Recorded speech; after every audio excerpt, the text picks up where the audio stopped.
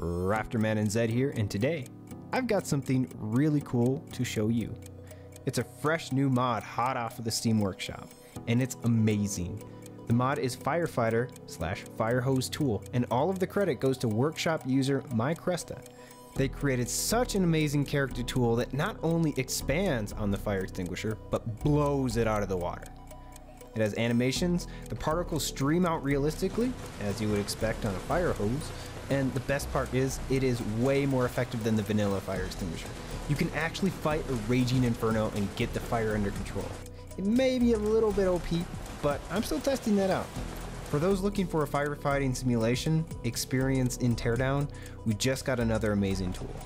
For the rest of the video, enjoy me testing out the mod recorded with the in-game recorder for a better experience. If you wish to skip between the small fire and big fire demonstrations, please feel free, as the video is broken into chapters.